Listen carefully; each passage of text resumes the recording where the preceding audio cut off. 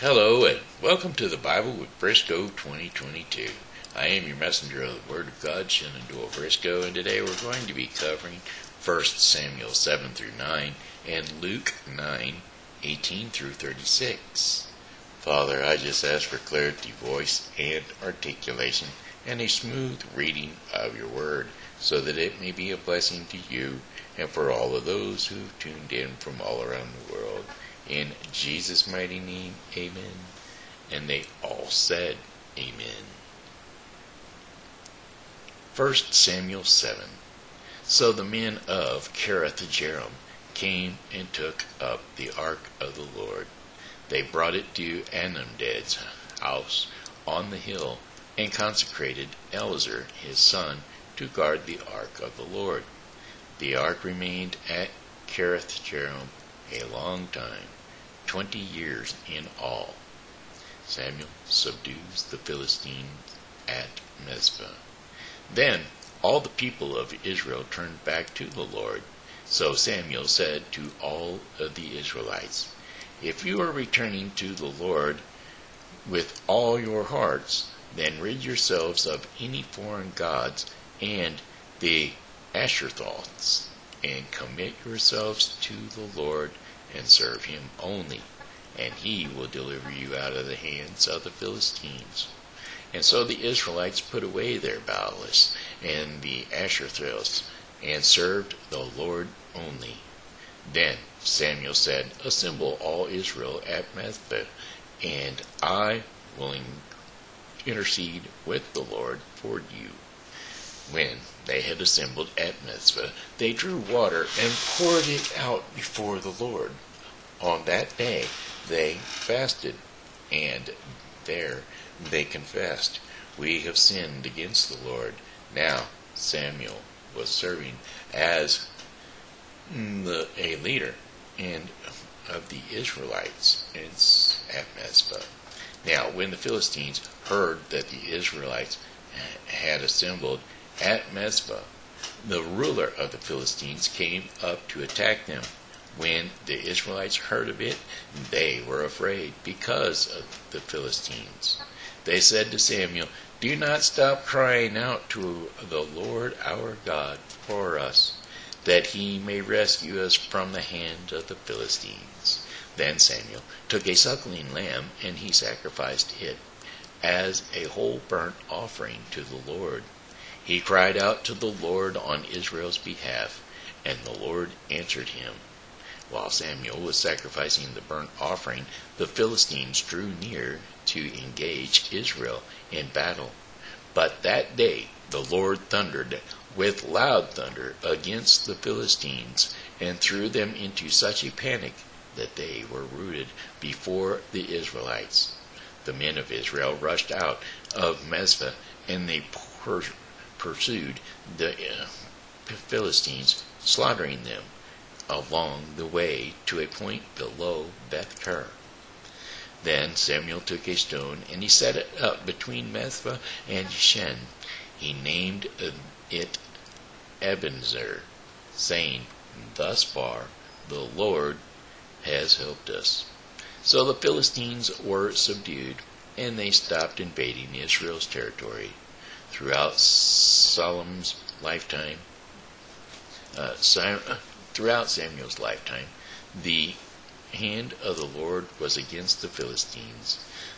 The town from Ekron to Gath that the Philistines had captured from Israel were restored to Israel, and Israel delivered the neighboring territory from the hands of the Philistines, and there was peace between Israel and the Amorites. Mm.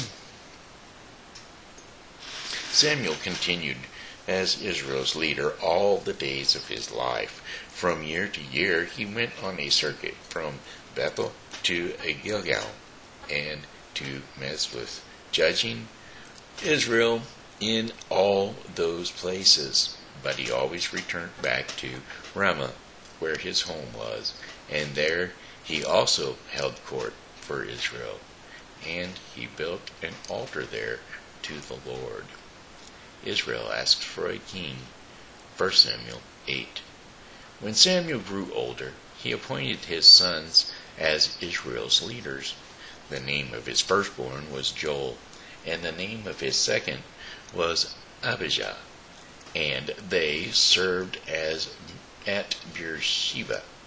But his sons did not follow his ways. They turned aside after dishonest gain and accepted bribes and perverted justice. So the elders of Israel gathered together, and they came to Samuel at Ramah, and they said to him, You are old, and your sons are not following your ways.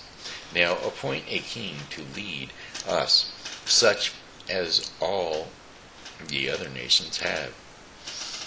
But when they said, Give us a king to lead us, this displeased Samuel. And so he prayed to the Lord, and the Lord told him, Listen to all that the people are saying to you.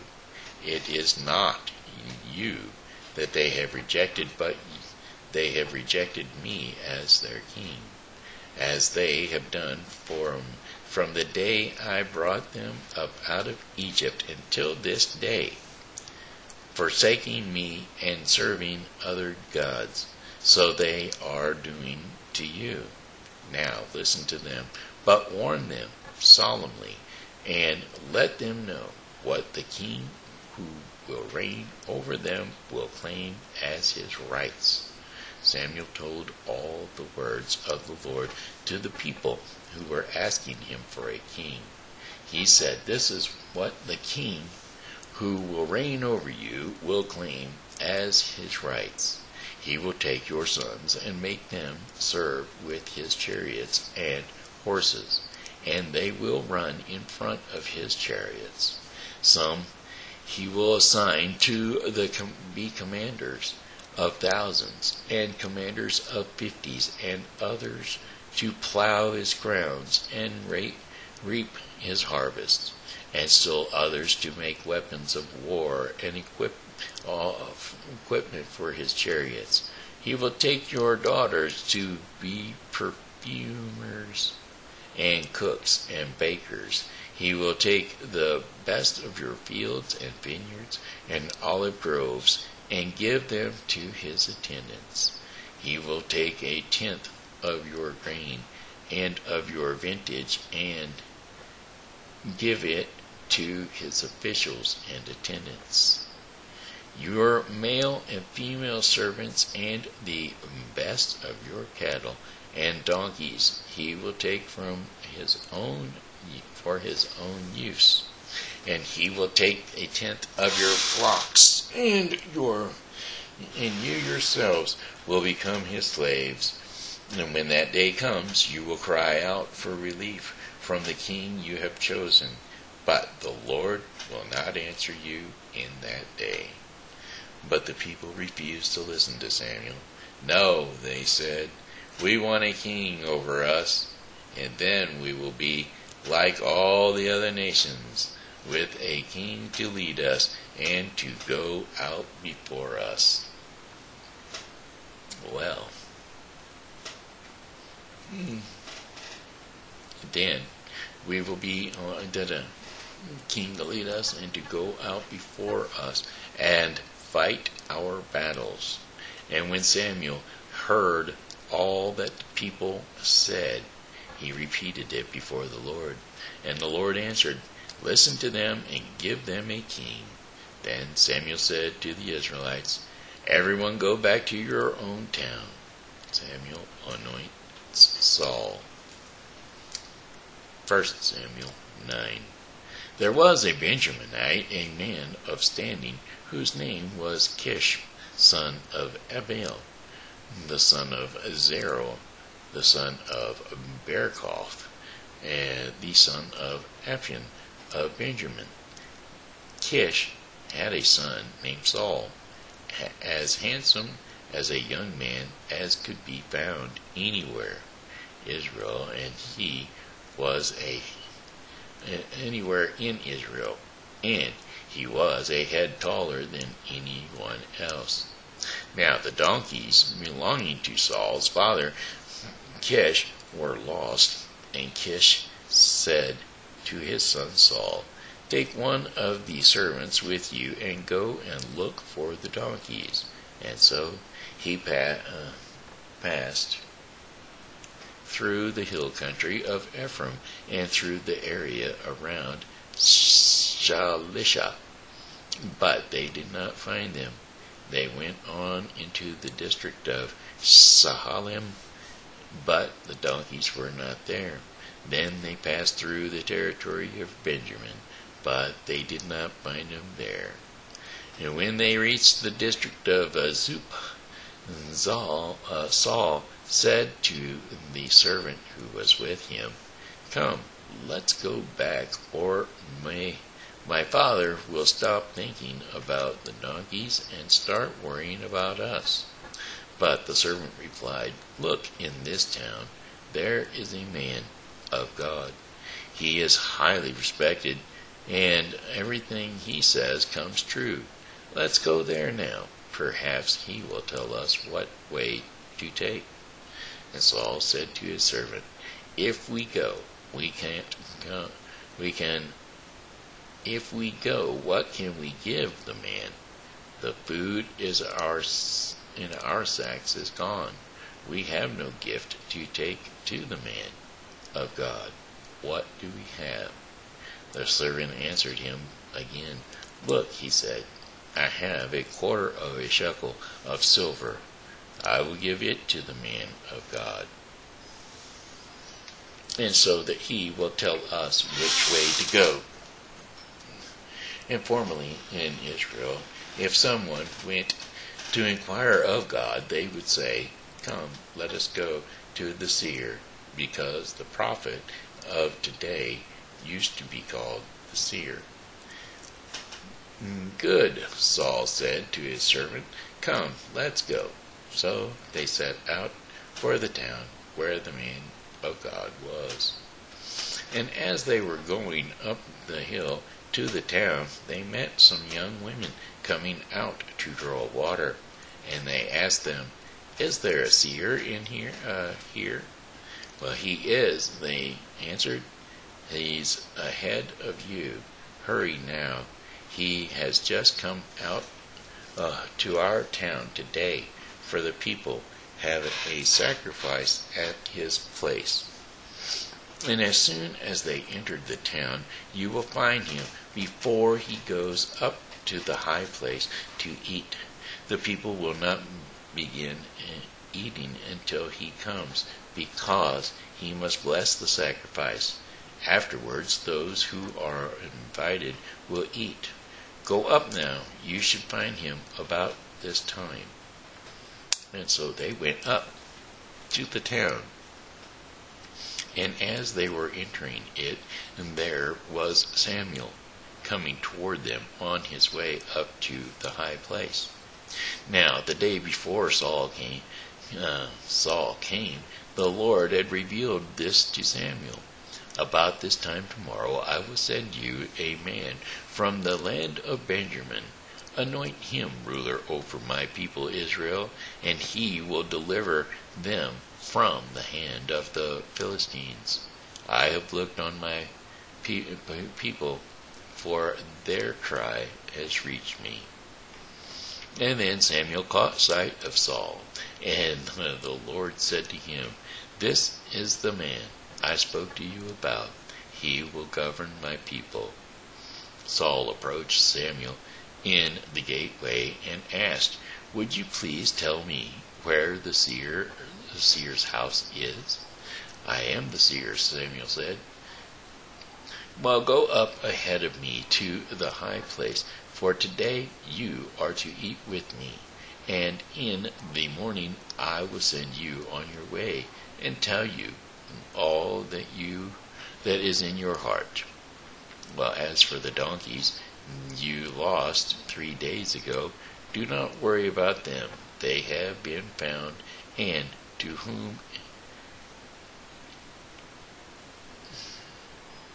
and to whom is all the desire of Israel turned, if not to you and your whole family line? Samuel answered, I mean Saul answered, but I uh, but am I not a Benjamite from the smallest tribe of Israel? And is not my clan the least of all the clans of the tribe of Benjamin? Why do you say such a thing to me? Then Samuel brought Saul and his servant into the hall, and they seated them at the head of those who were invited, about thirty in number. Samuel said to the cook, Bring the piece of meat I gave you, the one I told you to lay aside. And so the cook took up the thigh with with what was on it and set it in front of Saul. Samuel said, Here is what has been kept for you. Eat because it was set aside for you for this occasion from the time I said, I have invited guests. And Saul dined with Samuel that day. After that they came down from the high place to the town, and Samuel talked with Saul on the roof of his house.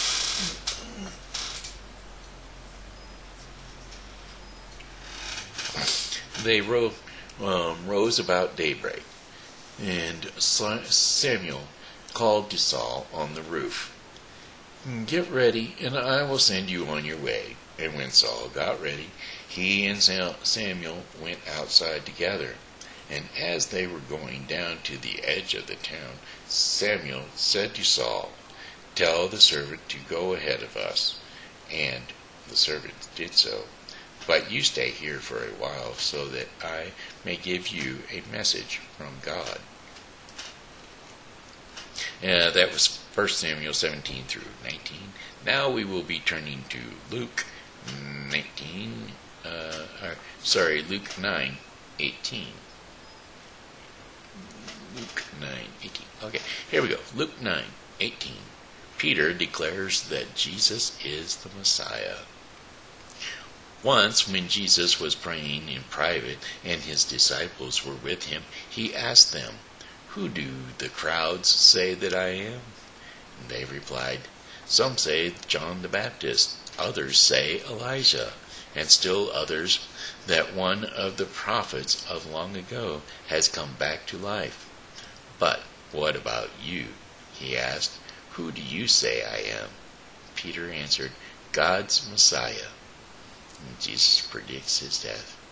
Jesus stri- strictly warned them not to tell this to anyone.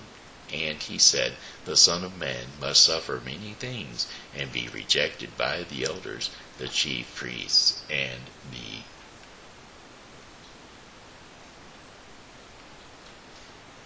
teachers of the law, and he must be killed, and on the third day be raised to life. And then he said to them all, Whoever wants to be my disciple must deny themselves and take up their cross daily and follow me. For whoever wants to save their life will lose it, but whoever loses their life for me will save it. But God is what good is it for someone to gain the whole world and yet lose it or forfeit their very self? Whoever is ashamed of me and my words, the Son of Man will be ashamed of and them. And when he comes in his glory, and in the glory of the Father and of the holy angels. So truly I tell you, some of uh, some who are standing here will not taste death before they see the kingdom of God. The Transfiguration. About eight days after Jesus said this, he took Peter, John, and James with him, and he went up on a mountain to pray. As he was praying, the apprentice, uh, the, as he was praying, the appearance of his face changed, and his clothes became as bright as a flash of lightning. whiter than white. Two men, Moses and Elijah, happened uh, to appear in glorious splendor, splendor, talking with Jesus, and they spoke about his departure, which he was about to bring to fulfillment at Jerusalem. Peter and his companions were very sleepy, but when they became fully awake, they saw his glory and the two men standing with him. And as the men were leaving Jesus, Peter said to him, Master, it is good for us to be here. Let us put up three shelters, one for you, one for Moses, and one for Elijah. He did not know what he was saying. While he was speaking, a cloud appeared and covered them, and they were afraid as they entered the cloud. A voice came from the cloud saying, This is my son, whom I have chosen. Listen to him. When the voice had spoken, they found that Jesus was alone. The disciples kept this to themselves and did not tell anyone at that time what they had seen and that was Samuel uh, first uh, First Samuel seven through nine and Luke nine eighteen through thirty six. Go to sleep, which concludes the Bible with Briscoe for today. Now tomorrow we will be returning and we will be reading uh, First Samuel ten through twelve and Luke nine thirty seven through sixty two. Father, I just thank you for your word, because without your word I would not be able to be your messenger of the word. I give you all the praise and all the glory. In Jesus' mighty name, amen. And they all said, Amen. I'd like to thank you folks for tuning in to the Bible with Briscoe 2022. I'd also like for to encourage you to share it with uh, everyone you know. And uh, as always, you know, God loves you, and so do I. So Come back and see us tomorrow because we will be here, God willing, and we hope that you are